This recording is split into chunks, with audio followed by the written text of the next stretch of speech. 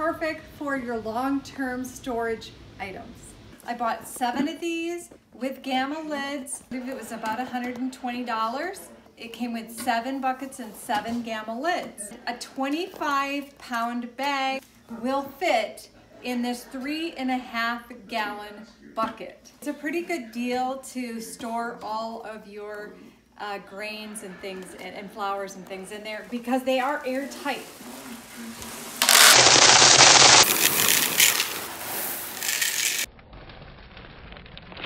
And these basically are humidity control, so they're kind of tells you when your uh, moisture pack needs to be replaced.